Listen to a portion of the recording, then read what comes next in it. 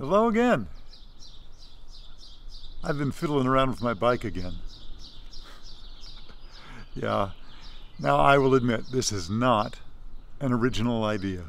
I don't remember where I saw it, but it was such a good idea. I had to do it, and I'm going to share it.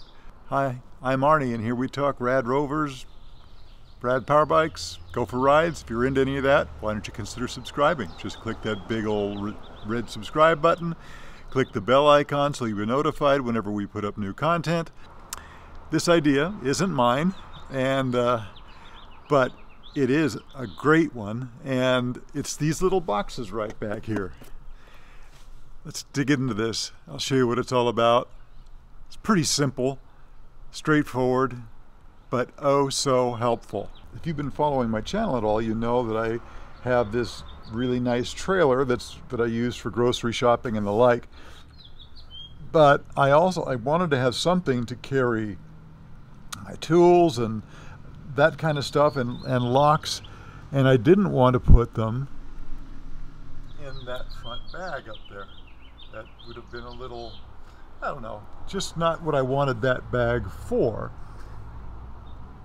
So these are simple, inexpensive, $9-ish, something like that. And uh, they have a nice little locking clasp here that holds the lid closed. You'll notice probably that I've taken the handles off of here. I didn't want them rattling around. Open this up and you can see I've got my Kryptonite lock in there and it fits snugly so it's not going to be rattling around. Now let me share with you how I attached mine. These are simple plastic and you'll see that I've just used zip ties, drilled holes, and zip tied it to the frame of my Ibera rack.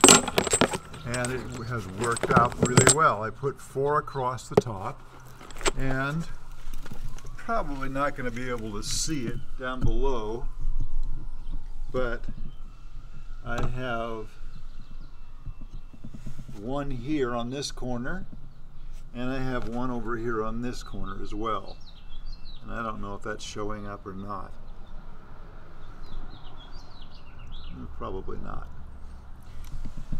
And that's all there is to this. It's a, it's a very simple setup, but it works so well for what I need it for. Strap it on there, you know, I mean, if I want to take it off, it's easy enough to do. Just cut the zip ties, no big deal. And if I don't like it after a while, they're cheap enough that it no harm done. What do you think? Pretty good idea, huh?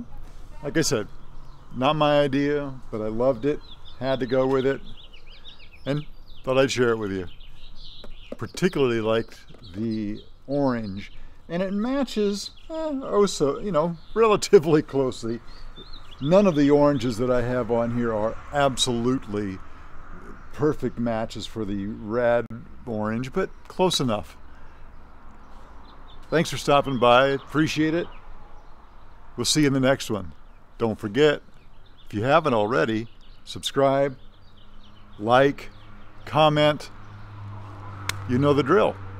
Thanks so much. We'll see you next time.